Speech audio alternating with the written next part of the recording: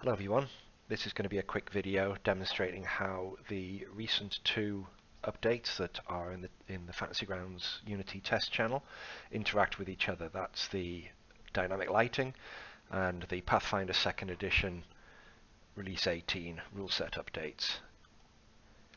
So here we have a player character on the map with the dynamic lighting and line of sight enabled and they don't have any light source, they don't have any special vision, so they can see absolutely nothing. It's just completely dark.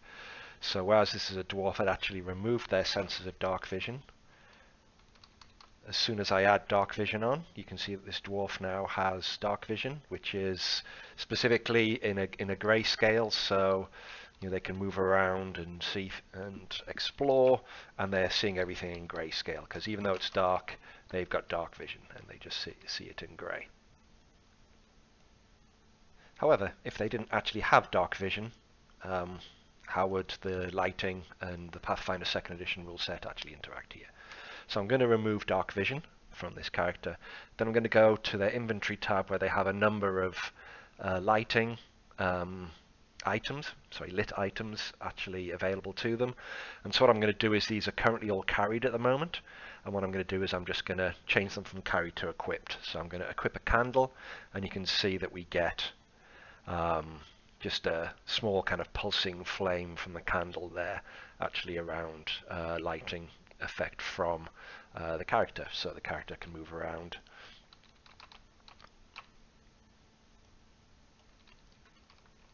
You can, see the various features as they actually open up with with the candle. Um, obviously a candle's not a great light source so potentially they'd unequip uh, just carry the candle and they'd equip a torch so this is a, a little bit better. They see they can see you know further afield, um, you know, 20 odd feet um, bright light, another 20 feet dim light as they move around um, and explore the actual uh, map. Uh, for a, a, little bit better distance, they can you know, equip a, a lantern, um, which shows up and you know, a little bit further and shows the various light lighting there. If you had dark vision and an actual uh, item equipped, so I'll just carry the torch, put dark vision back on for this dwarf.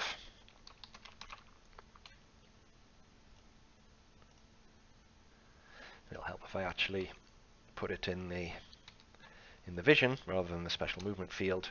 And you can see, I don't know how well you can see that, perhaps I'll just swap it for a candle so you can get a better idea. So there's the grayscale of the dark vision and when you equip a light source then you see the actual light source as well, the colors coming in of the background with that actual light source equipped. So if I flick to a torch now you can see that that the actual, the character still has dark vision outside of the, the area of bright and dim light so they can still see everything that's going on there, but they actually get the proper kind of colors tinted slightly for the torchlight within the um, area of the actual, the lit item that they're carrying.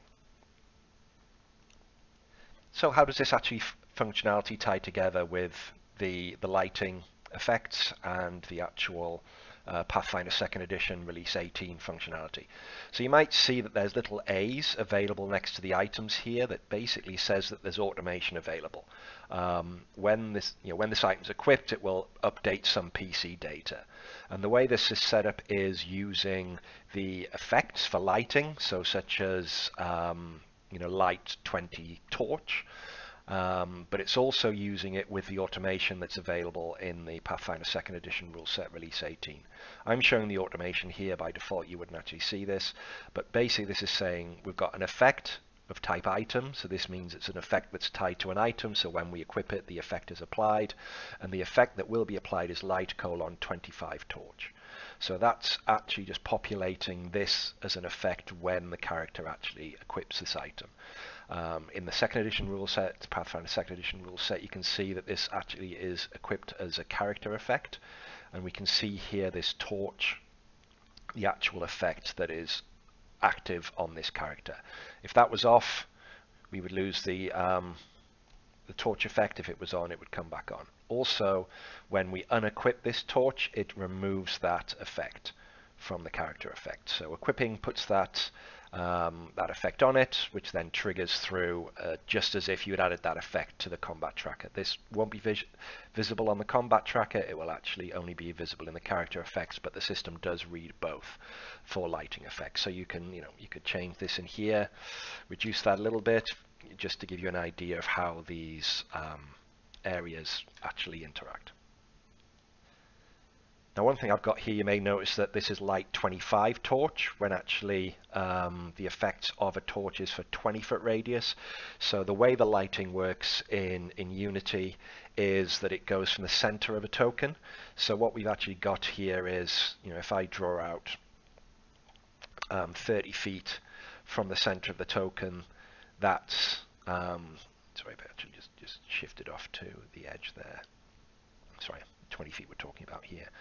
So 20 feet, if I just made the radius 20 feet, that goes from the center of the token, but you can think, well, if somebody's carrying a lantern, they're probably holding it out a bit, they're shining it around, something like that. You can see that it doesn't quite cover 20 feet for the for the bright light, and then it's it only does you know another 20 feet for the dark light. So the way I've set this up in the in the base system is I've put in 25 feet. It needs to be 20 in steps of, of five feet for the Pathfinder rule set. And that gives you, you know, 22, 23 feet, which probably gives you a slightly better idea. If um, if you'd rather have 20 feet, you can absolutely you know change that yourself.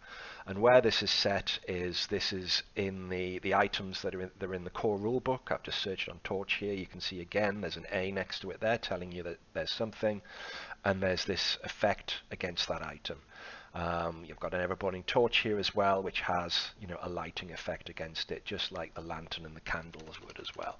So basically, you know, you can um,